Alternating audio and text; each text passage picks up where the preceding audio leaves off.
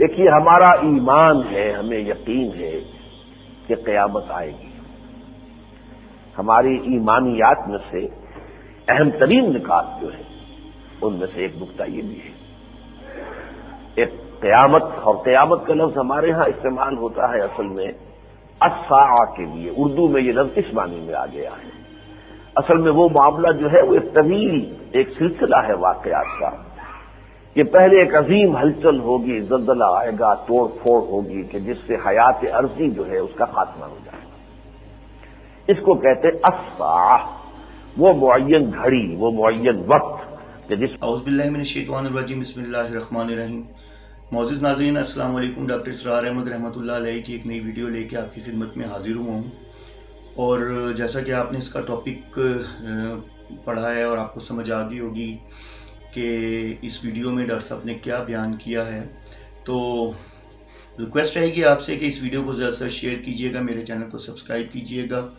آئیے دیکھتے ہیں ڈاکٹر اسرار احمد رحمۃ اللہ علیہ کی نئی ویڈیو۔ میں یہ ہلچل ہوگی۔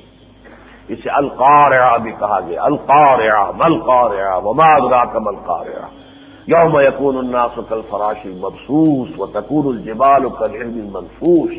یہ صورتحال پیدا ہو۔ پھر یہ کہ ایک وقفہ ہوگا۔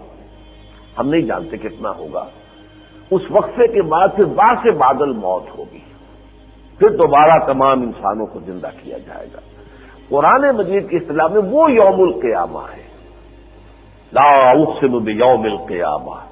جس کے لیے آتا ہے، یوم یقوم الناس رب العالمین۔ وہ دن کے جس دن تمام انسان اپنے رب کے حضور کے میں کھڑے ہوں۔ گے ہم اردو میں قیامت کا لفظ استعمال کرتے ہیں اس پہلے مرحلے کے لیے۔ قرآن مجید کی اصطلاح میں پہلے مرحلے کے لیے اسا ہے۔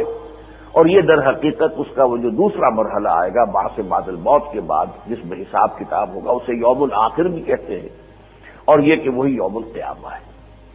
بہرحال پہلی بات یہ ہے کہ اس اسا کی خبر قرآن مجید میں اتنی دی گئی ہے کہ کوئی صفحہ شاید اس سے خالی نہ ہو۔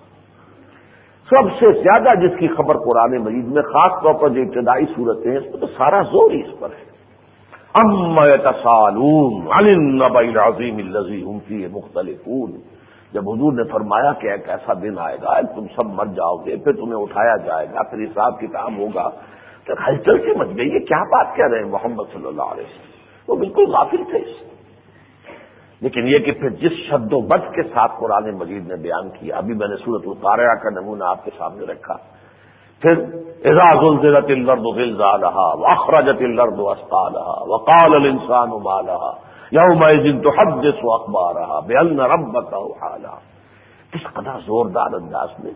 یہی تو وہ آیا تھا جن کے بارے میں حال ہی کا وہ شعر صحیح ہے۔ کہ وہ بجلی کا کڑکا تھا یا سوتے ہادی عرب کی زمین جس نے ساری ہلا دی، ہلچل پیدا ہو گئی کیا بات کہہ رہے ہیں؟